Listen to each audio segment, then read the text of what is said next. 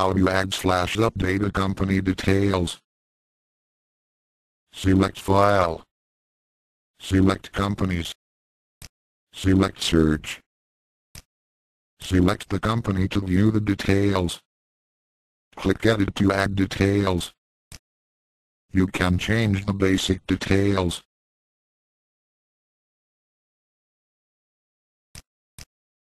Company details has been updated and you can view it by search option. Thank you www.maxxerp.com